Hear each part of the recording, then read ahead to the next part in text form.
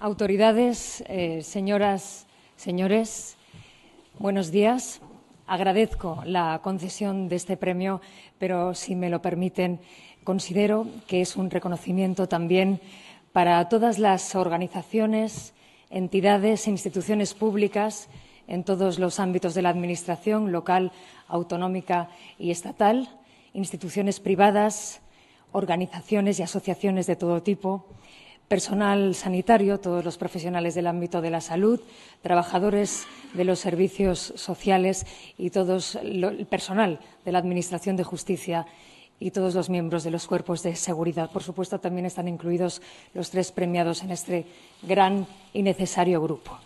En definitiva, lo que querría es trasladar esta distinción a todas las personas que cada día, de un modo callado, esforzado y con recursos limitados, ayudan, aconsejan, curan, animan, atienden, escuchan.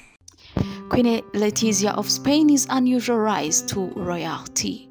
She might be one of the most glamorous royals of Europe now, but Queen Letizia of Spain hasn't always been about that opulent life. So, how exactly did she get to where she is today? Welcome back to my channel. Thank you so much for clicking. Don't forget to subscribe, like, and also share. Letizia Ortiz grew up in a middle class family with her parents, a journalist and a nurse, and her two sisters. Letizia studied journalism at university and went on to follow in father's Jose Ortiz Alvarez footsteps. She scored jobs at popular TV station 24 Horas and even worked for CNN Plus before reporting on massive events such as September 11th and the US presidential elections for Spanish agency News. Little did she know at the time that one day as queen, she will be hosted at the White House by former US Presidents Barack Obama and Donald Trump. Letizia and Meghan Markle have more in common than just being pictured outside some of the world's most famous houses and being wine, wine dined inside them after marrying into some of the most powerful families on the planet. They both have ex husbands who have interesting stories to tell about their former spouses, too.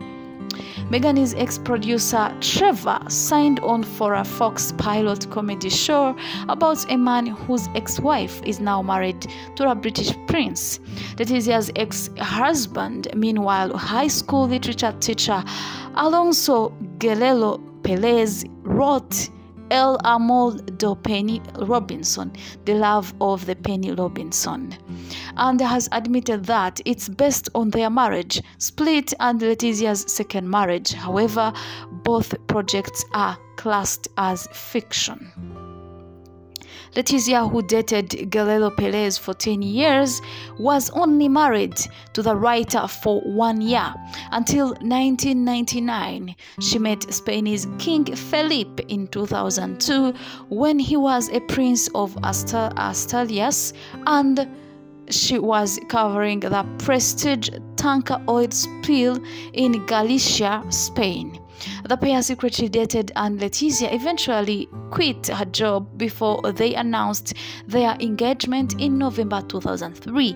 The prince popped the question with a 16 baguette diamond ring with white gold trim, and Letizia gifted him white gold and sapphire cufflinks as well as a classic book.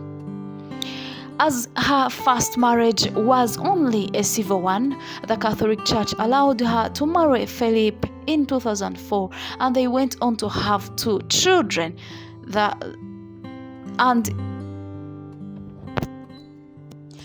In 2014, a series of scandals ended the 40 year reign of Juan Carlos, who abdicated the throne. Philip became the new king, making Letizia the new queen and the first commoner to take on the role.